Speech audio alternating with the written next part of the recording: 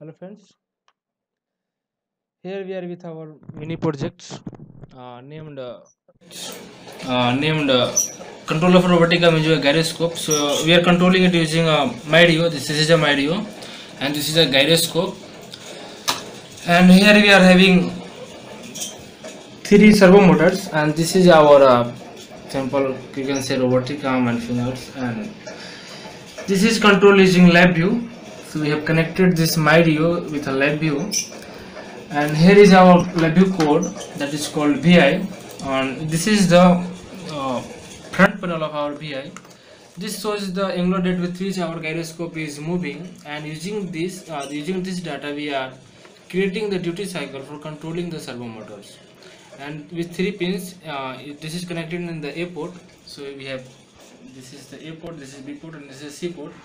So we have connected uh, um, servo motors in this A port so we have uh, named this PW0 PW1 this is the, these are all the pins of the myRIO and this is the stop button. Now let's go to the its block diagram. So here it is a block diagram.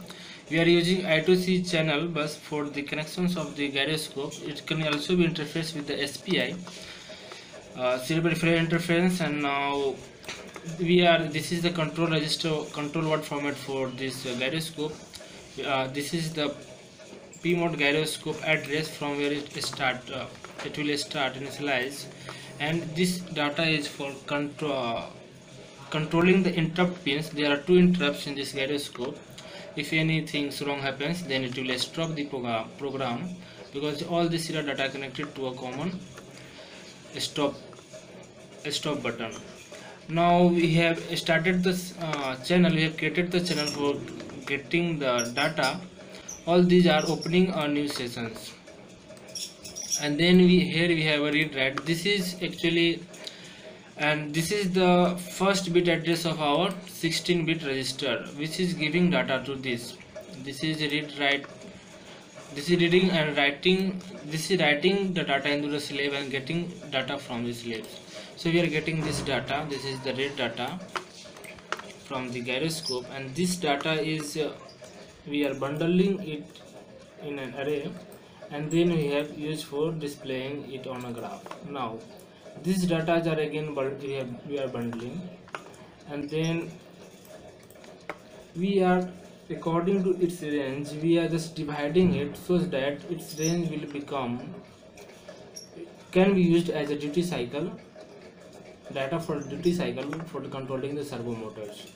And this is this detects whether change is happening or not. If there is no change then the gyro, uh, then the servo motor should be stopped. So this will give a zero data. If there is some change happening then it will pass the data. Then we are uh, modifying with some multiplier to speed up the servo motors. And this is the local variable. It is passing all the data to this variable name this nearest integer value now this is being used by the these three all these three blocks.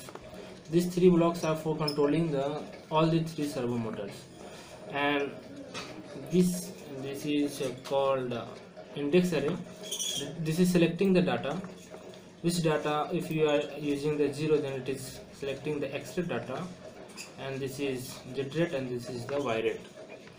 Now here we are using the sub vi this sub vi is programmed to control the servo motors so this is the code for the servo motors this is already available by the national instruments you can download it from its site uh, named the mechatronics projects. Uh, now we are going to our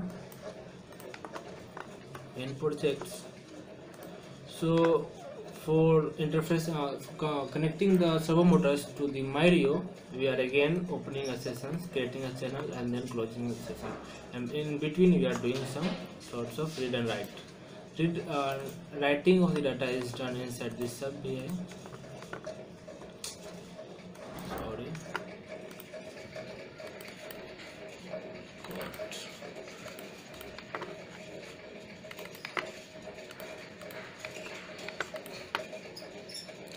so this is the block for setting the duty cycle of the servo motors. Now we will just run this uh, vi to control our verticam so i am just uh, uploading this program to the myRIO. Burnout so now this has been uploaded. And I think there is a, so this is now we are have a gyroscope so as you can see if you want to control this in this direction so you have to move in this direction. And and if you really want to control its hand so you have to rotate it in its axis so if you can see this is controlling its fingers of the our prototype of robot so this is this was our mini project so you can see we can precisely control anything